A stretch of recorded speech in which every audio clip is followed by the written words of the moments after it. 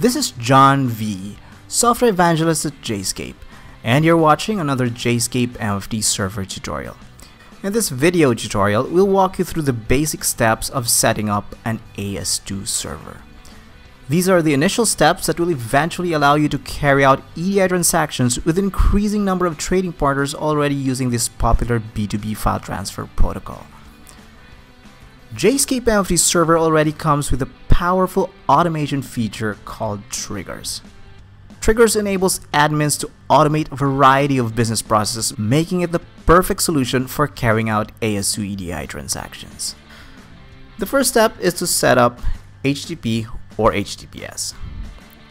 AS2 runs over HTTP or HTTPS, so before you start configuring any AS2 settings, you'll need to have an HTTP or HTTPS service up and running on your server.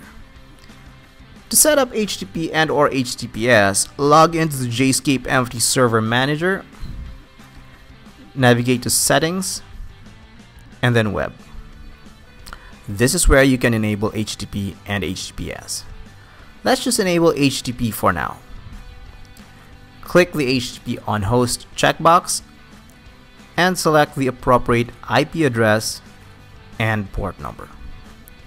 Here, 0.0.0.0 means our HTTP service will be listening on all interfaces.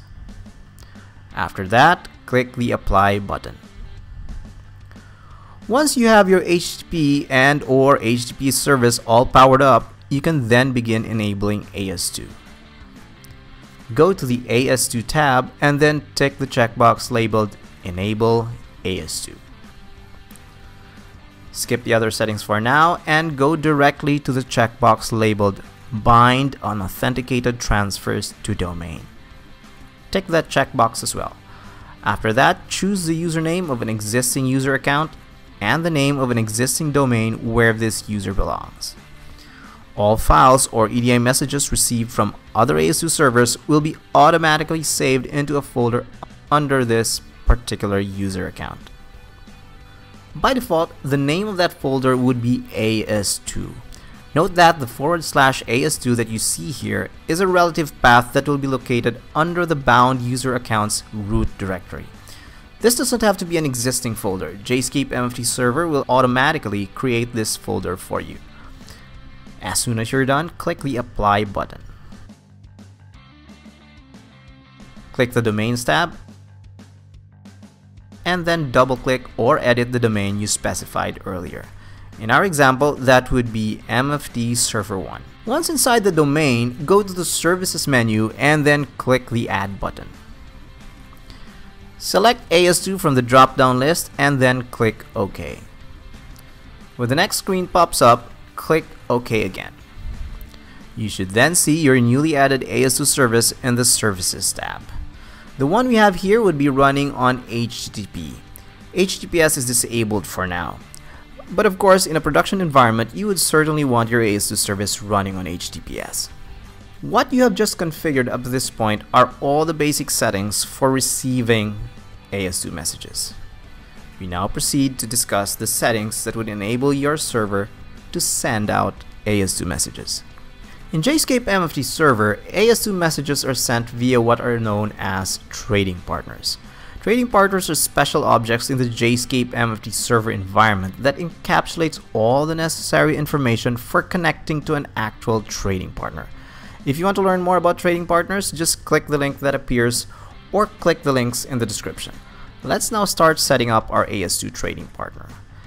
Navigate to the Trading Partners menu and then click the Add button. In a production environment, you likely have multiple AS2 trading partners, with each trading partner pointing to a distinct company whom you transact with. Select the AS2 protocol from the drop-down list and then click OK. When the AS2 trading partner dialog box appears, enter the necessary information.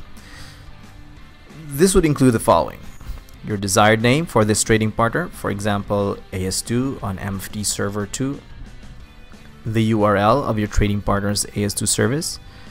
You need to ask your trading partner for this piece of information. The one you've entered here, where you have HTTP or HTTPS, followed by the IP address, the port number, and then forward slash AS2, and then forward slash incoming would be the format of the URL used by trading partner using JScape MFT server for their AS2 service.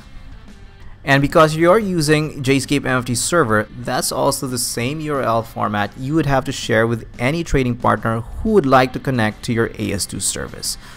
Of course, your IP address and perhaps your port number would be different.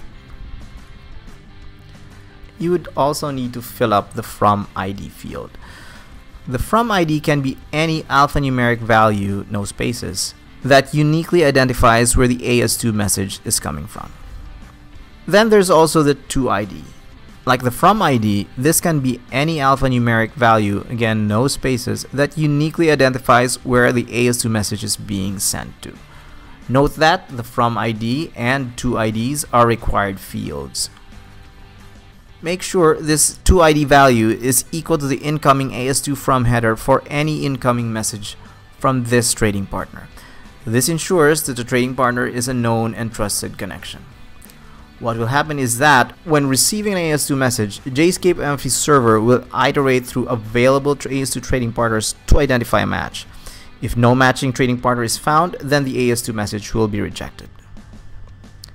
In a production environment, you will of course need to enter several other information than just those four. However, this is the bare minimum you need to start exchanging AS2 messages with a test system. Let's uncheck the receipt signature required for now. This will require a digital signature for the MDN message. We won't be needing that requirement for now. After clicking OK, you should see your newly created AS2 trading partner in your list of trading partners. Now that you've configured your server to send AS2 messages to a trading partner, you might want to try sending messages now. Let me first teach you how to send AS2 messages manually. JScape MFT Server has a built-in feature that allows you to manually send AS2 messages. Let's try it out. Navigate to the AS2 messages menu and then click the send file button. Select the trading partner you created earlier and then browse to a file you want to upload. After selecting the file, click OK. After a few seconds, you should see two new records on your AS2 messages list. One for the outgoing AS2 transmission and another one for its corresponding AS2 MDN receipt. Let's zoom in on that a bit. Of course, while it's possible to send EDI messages manually, it's not the ideal way. In order to take full advantage of EDI, EDI messages must be sent automatically. We're going to show you how to do that in our next video, so stay tuned for it. That's it. Now you know how to set up a basic AS2 server for testing purposes.